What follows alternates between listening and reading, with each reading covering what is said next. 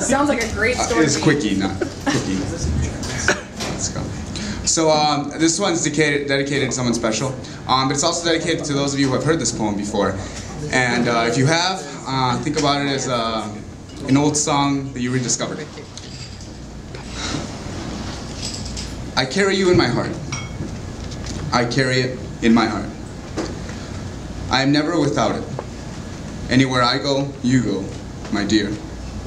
And whatever is done by me is your doing. I fear no fate, for you are my fate, my sweet. I want no world, for beautiful, you are my world, my true.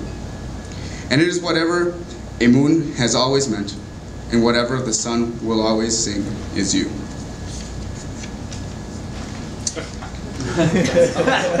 Here, here is the deepest secret nobody knows. Here is the root of the root, the bud of the bud, the sky of the sky of, of a tree named life, which grows higher than any soul can hope or any mind can hide. And this is the wonder that keeps the stars apart. I carry your heart. I carry your heart in mine. I think love poetry